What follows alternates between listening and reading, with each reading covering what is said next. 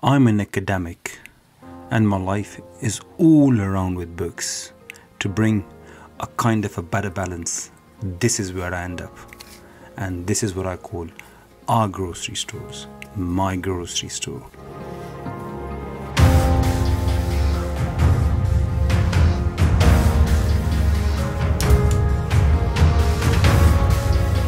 group of about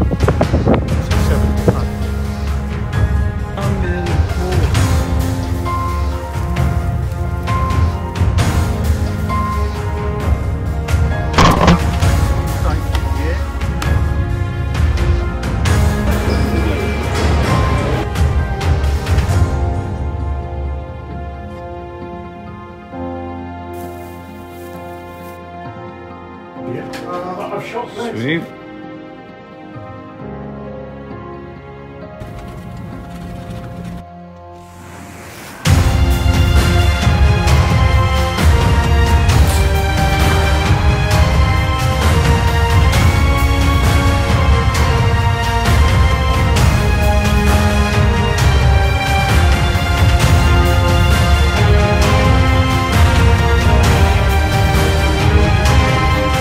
Canada it is now? From India?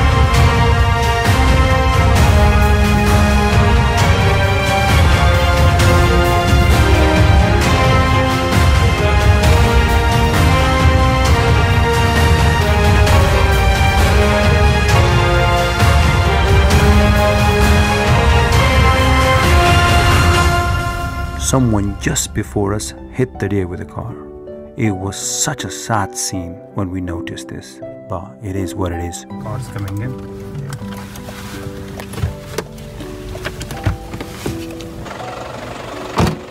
So guys, this is normally, look, they've been hit by the car. And that's when people say, you know, no, kill this. Just actually kill, right, Maharaj? Yeah. Look. So that's number two.